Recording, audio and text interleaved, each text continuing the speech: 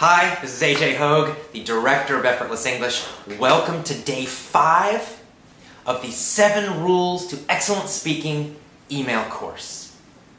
Now, you remember, before in one of the other rules, I told you do not study English grammar.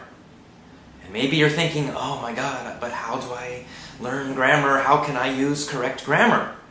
Well, today I'm going to tell you how to learn English grammar without studying grammar rules. Hmm, that's a little tricky. How do we do that? Well, there's actually a very simple, easy, powerful technique. And research shows that this technique is the best way to learn grammar. English grammar, grammar for any language, actually. So, what is this technique? Well, it's called point of view stories. Point of view stories, or point of view mini stories. Mini means small. So these are small stories. Now, what's the secret to these stories? How do they teach you grammar? Well, what we do is we tell the same story, but we change the point of view. In other words, we change the time, for example, or we change the grammar somehow in the story. Let me show you an example, a very simple example. When I teach point of view stories, I teach a funny or short little story. And maybe the first time I teach it in the present. It's happening now. So for example, there is a boy.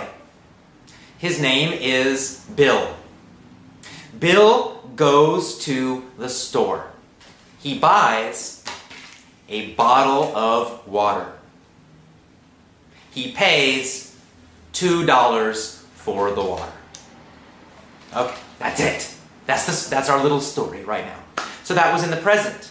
And all you need to do is just listen to it. Listen, listen, listen, listen again. Deep learning, remember, you're going to repeat it a lot of times. Now, how do we learn grammar with a story? Well, next, I tell the same story, but now it's the past. There was a boy named Bill. Yesterday, he went to the store. He bought a bottle of water. He paid $2 for the water. That's all. Now, in a normal story, in a normal point of view story, it's longer and it's more difficult, of course. In my lessons, my point of view stories are longer, they're more difficult. But this is an example, it's an easy example. So now you got the present and you got the past. You listen to that story in the past many times.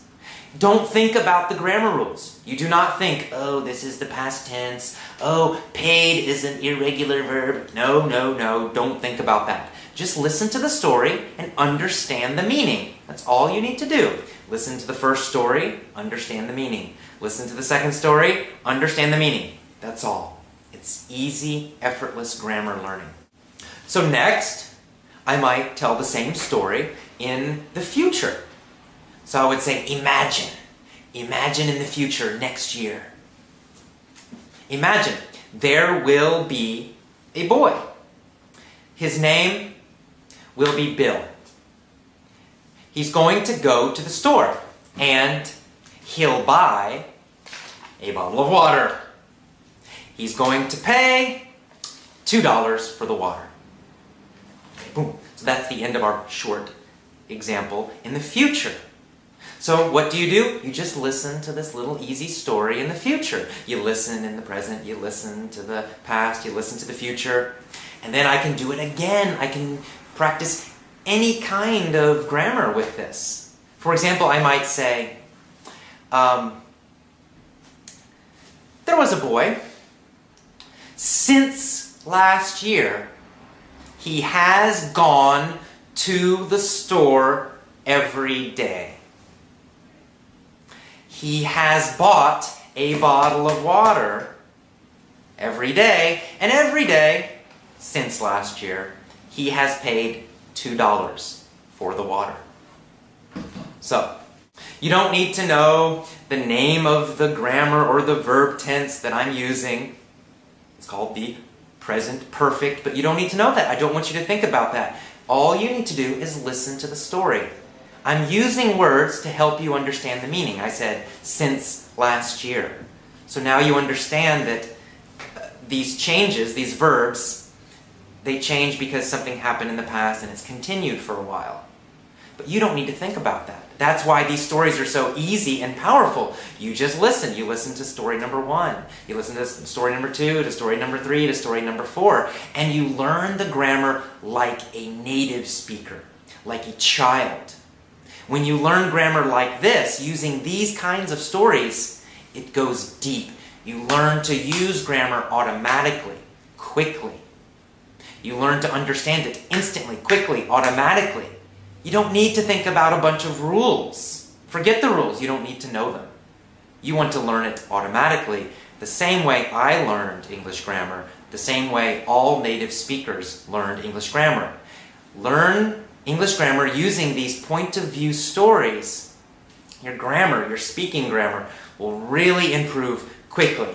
And you'll feel more relaxed because you'll start to use correct grammar automatically. You won't even think about it.